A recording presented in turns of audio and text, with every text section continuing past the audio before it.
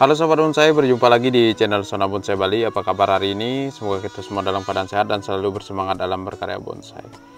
Nah, di video kali ini saya akan panen salah satu groundan kimeng saya. Nah, ini dipanen bukan karena sudah jadi ya, tapi saya panen memang karena tempatnya sudah ini karena ada apa namanya? Ada pohon kelapa. Jadi sering tertimpa pohon kelapa dan sering patah untuk percabangannya dan mengganggu juga di sini karena ada sedikit akses jalan. Dan ini akan saya panen. Jadi yang baru bergabung jangan lupa dukung channel saya dengan like, komen, dan tombol subscribe. Dan nyalakan tombol lonceng agar tidak ketinggalan video-video terbaru dari saya. Tentunya subscribe-nya gratis dan jangan lupa share juga untuk mendukung kemajuan channel ini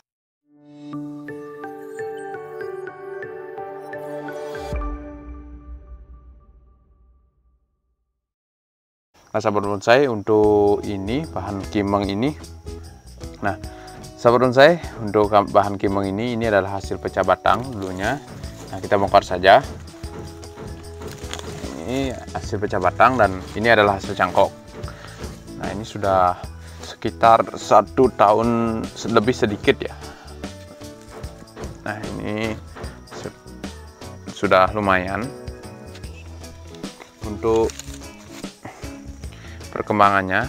Dan ini juga baru saya pecah baru beberapa hari beberapa minggu saya pecah ya.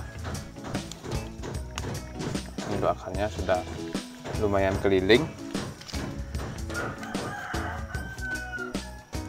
Nah, ini juga kayaknya akarnya sudah besar-besar saya jadi kita potong saja ya untuk akarnya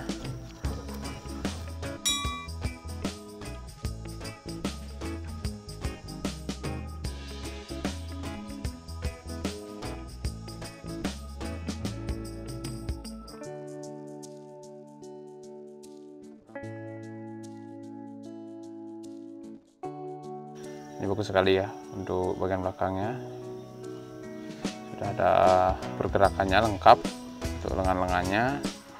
Nah, seperti ini. Nah ini untuk bagian depannya.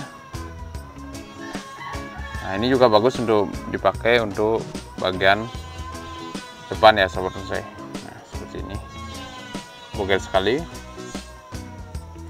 Tapi ini saya akan biarkan untuk tunas satu ya biar ya seperti biasa kimeng kalau saya harus ada mata tunasnya karena baru-baru masih belajar jadi masih takut-takut.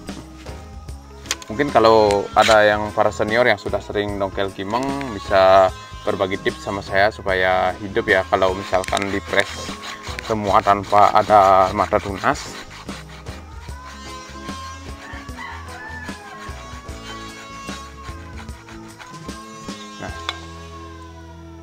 jadi saya sisakan untuk tunasnya satu ya.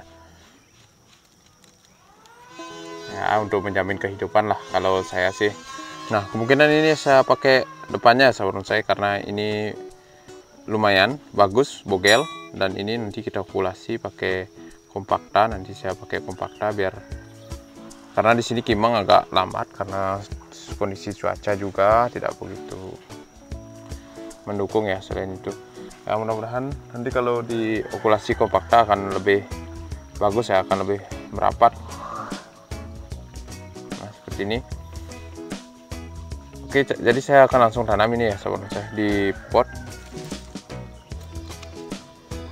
Nah, sahabat saya di sini saya melakukan penanaman. Nah, untuk penanaman sendiri di bawahnya saya memakai sedikit pupuk kambing dan campuran sekam bakar sama sekam biasa sama pasir kali juga. Nah, di bagian atasnya baru saya pakai pure pasir kali dan saya isi sedikit dekastar. Nah, ini juga saya memakai sedikit puradan untuk menanggulangi hama-hama pengerat batang dan itu pun masih jauh ya untuk penanamannya tidak terlalu kena jadi yang saya tanam di bagian atas dan ini juga saya isi batu untuk beberapa uh, bagian yang kurang karena ini untuk akarnya juga kurang di sampingnya di arusnya akarnya yang paling besar untuk menjaga keseimbangan dari bonsainya.